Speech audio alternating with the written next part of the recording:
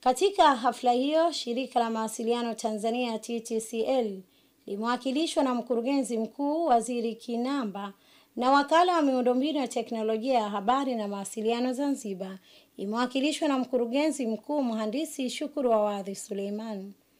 Wakizungumza baada ya utiaji saini huo, mkurugenzi mkuu wa shirika la mawasiliano Tanzania Waziri Kinamba na mkurugenzi mkuu mhandisi Shukuru Awadhi wamesema lengo la utiaji saini ni kuongeza kasi ya matumizi ya mfumo wa mawasiliano ili kuimarisha huduma katika sekta tofauti na kuongeza pato la taifa.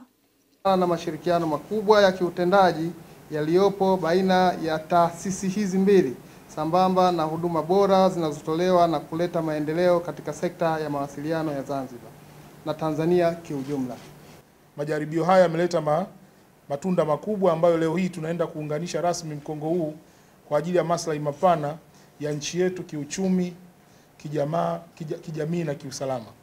Katibu Mkuu wa Wizara ya Ujenzi, Uchukuzi na Mawasiliano, Dr. Zaina Chaula wa Jamhuri ya Muungano wa Tanzania amesema ufunguzi wa njia za mawasiliano ya mkonga huo utaimarisha matumizi ya huduma za data na internet kwa kuongeza uwekezaji katika sekta binafsi na sekta za umma.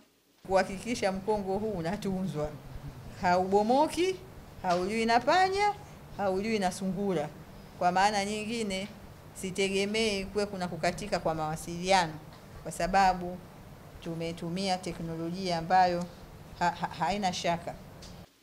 Katibu Mkuu Wizara ya Ujenzi, Mawasiliano na Usafirishaji Zanzibar, ndugu Mustafa Abud Jumbe amewanasihi watendaji wa miundombinu hiyo kuitunza ili ilete tija kwa jamii na taifa.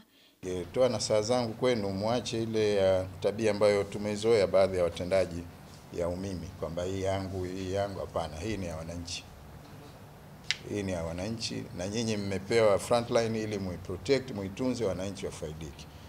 Nikiripoti ni Hamisi Ali, ZBC.